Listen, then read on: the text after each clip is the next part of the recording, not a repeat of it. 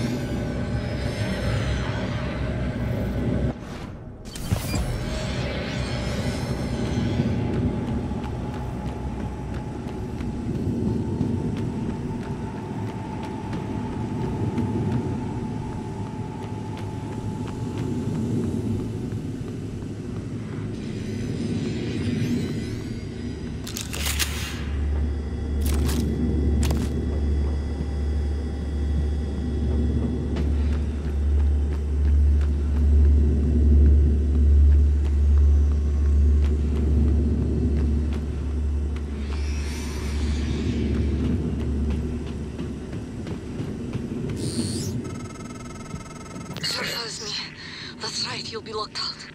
Okay, Morgan, you'll need a supervisor keycard. Talia Brooks, in the coolant room. She didn't make it, but she'll probably have her card on her.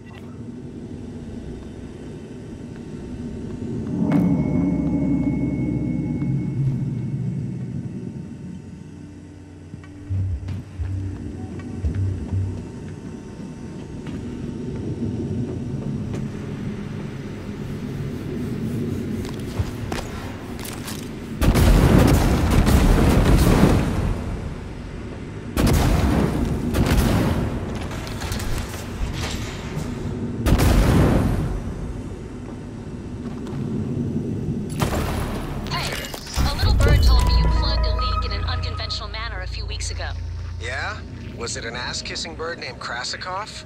Maybe. Care to elaborate? Not if I'm going to get my pee-pee slapped. Worse, I'll dunk you in the eel tank. Ouch. Nah, supply was out of parts, so I borrowed a glue gun from the guys in hardware. Worked out okay. Ingenious. Next time, let's make sure we have enough spare parts to do the job right. Roger that, boss.